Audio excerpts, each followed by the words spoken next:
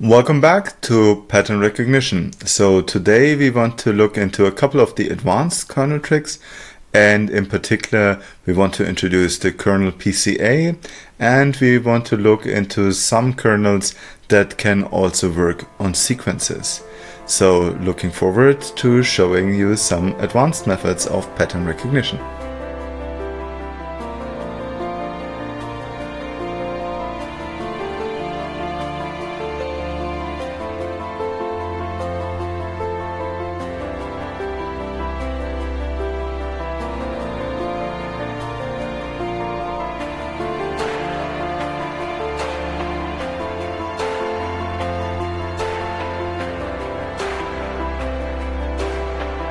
So let's revisit the PCA.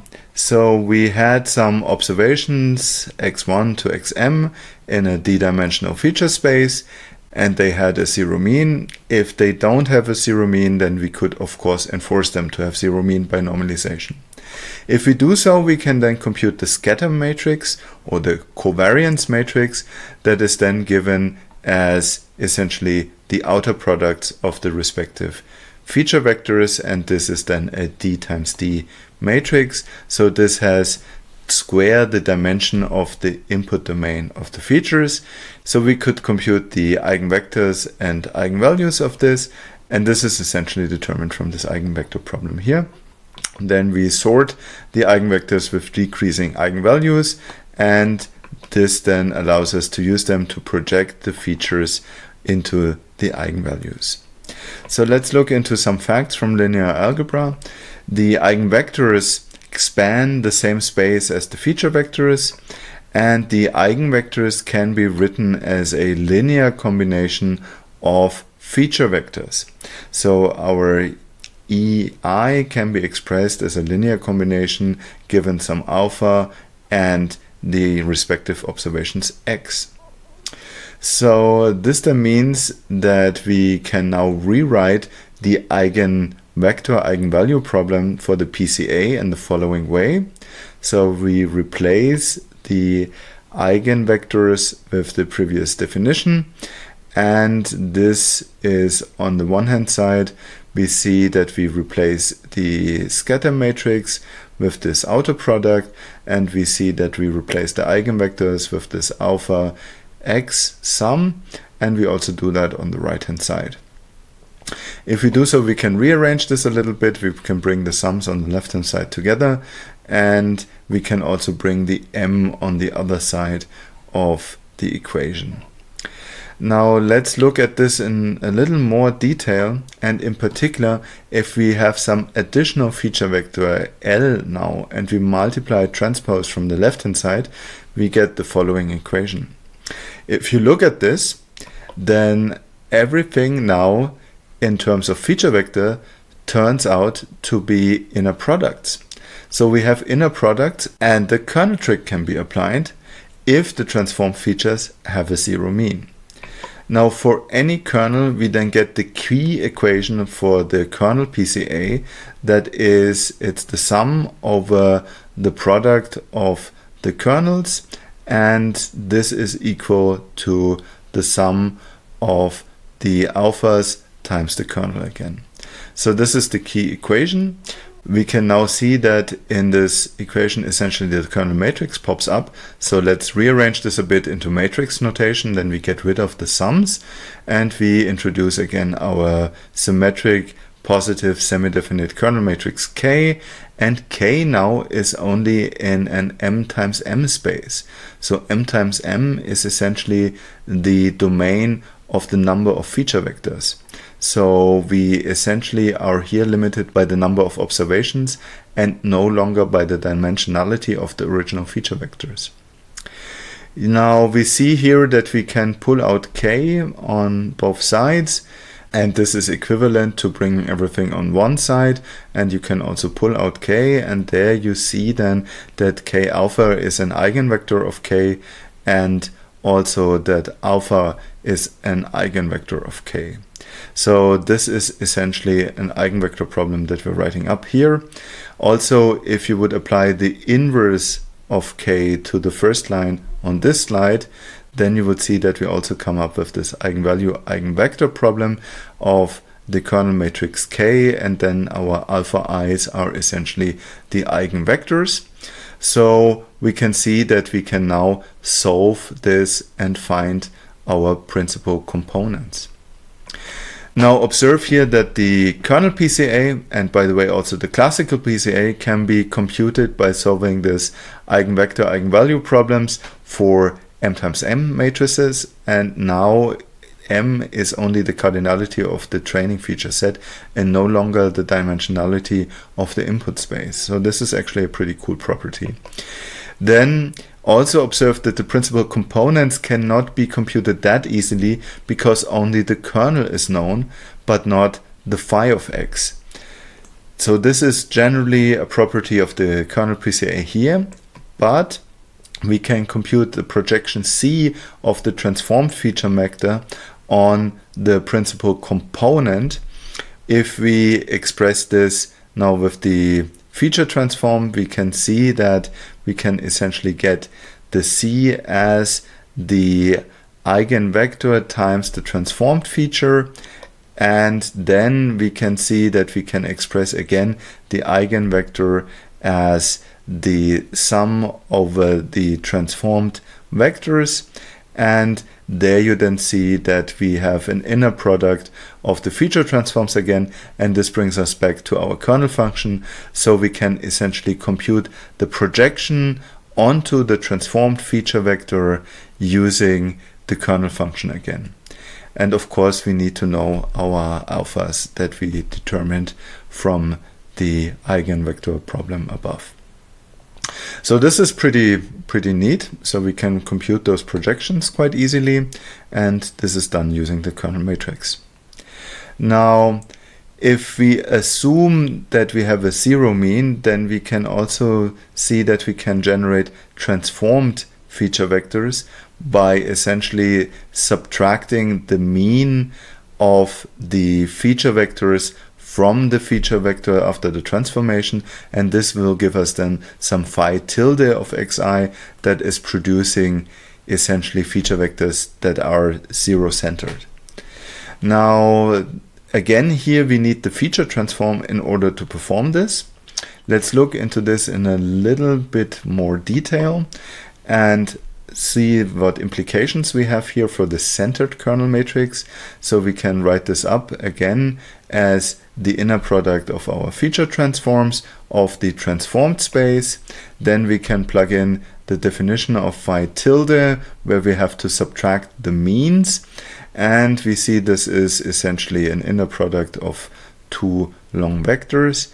And we can now do the math and take them out and here you then see that we essentially end up with inner products over the feature transformed vectors. So technically if we want to compute this term we can also rewrite this with respect to the kernel function. So we can compute all of these terms only using the kernel function and therefore we can also produce a centered matrix using only the kernel function. So this is also a very important property because otherwise we might run into problems with our kernel PCA because we assumed it to be centered. Now let's look into some example. Let's consider an image and we have like 50 training observations and we have 1024 to the power of 2 pixels. Then this means that the input feature vectors define essentially 50 observations in a space that is r to the power of 2 to the power of 20. So this is a very high dimensional space now, if we use the kernel PCA instead, we see that our kernel matrix essentially lives in a 50 times 50 space. And this is really something where we still can compute an eigenvalue decomposition. So this is really possible to work with that. And now the classical version would actually have to solve the eigenvalue decomposition of a 2 to the power of 20 times 2 to the power of 20 matrix, which is super huge.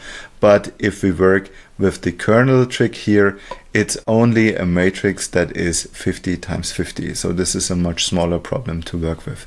So here also the kernel PCA has a lot of advantages. Now we can also apply kernels to strings and for example in speech we very often have the problem that we have sequences of different length. So if you have time series then you really have a problem. If you have speech signals then you don't have the same dimensionality for the different feature observations. We can still use kernels and there we can then even compare sequences of symbols like strings, like waveforms, and all kinds of time series data with a kernel space. So we can then even compute PCA on feature sequences, which is pretty cool.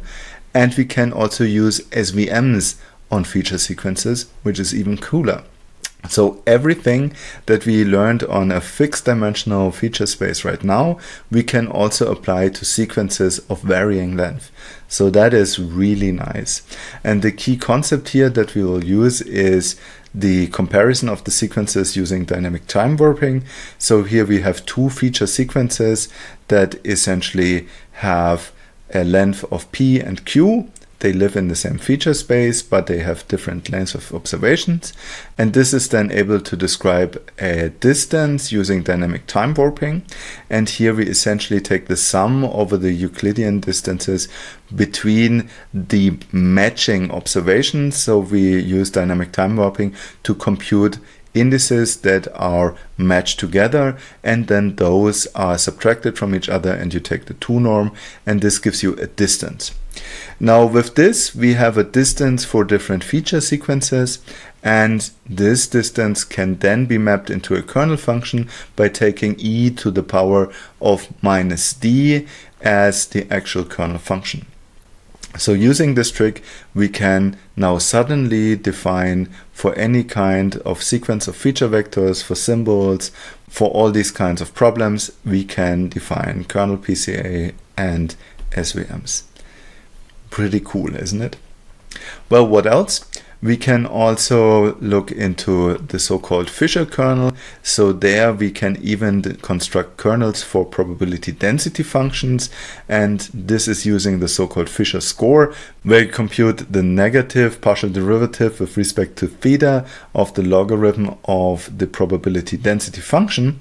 And this can then be employed to compute, for example, the Fisher information matrix I of x, that is the expected value of the Fisher scores times the Fisher scores transposed. And this is then essentially describing the curvature of the Kullback-Leibler divergence. So both of these concepts can then be used to define kernels. Now the Fisher kernels then can be written in two ways. So you either take the inner product of the Fisher scores or you take the inner product and you weight it with the Fisher information matrix. So these are the two variants that you can get for Fisher kernels. So we can also apply this, for example, to learning from partially labeled data. So in some classification approaches, you require huge collections of data. So let's say text or speech recognition. Then you label the data and this is super time consuming and costly. If you want to label or transcribe one hour of speech, that takes 10 hours of manual labor to actually create the transcription. So if the data can be modeled with a small number of well-separated components, with each component corresponding to a distinct category, then little labeled data would suffice to assign a proper label to each of them.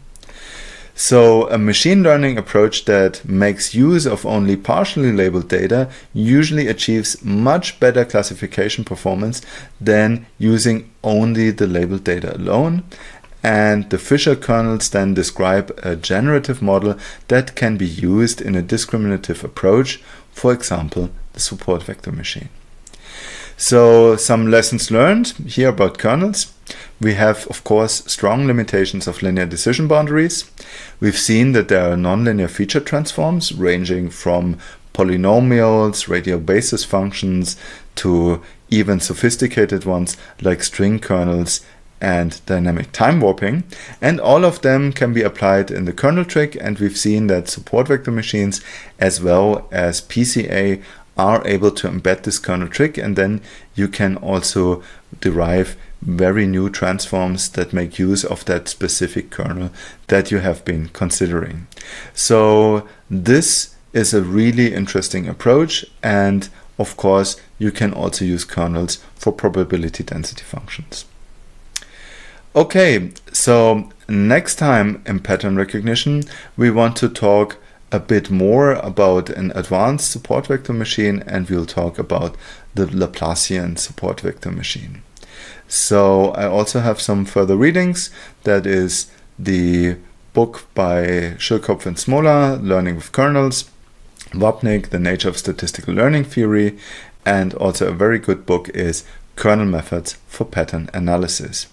Again, I have some comprehensive questions for you that you will find useful for the exam preparation. And this already brings us to the end of this small video.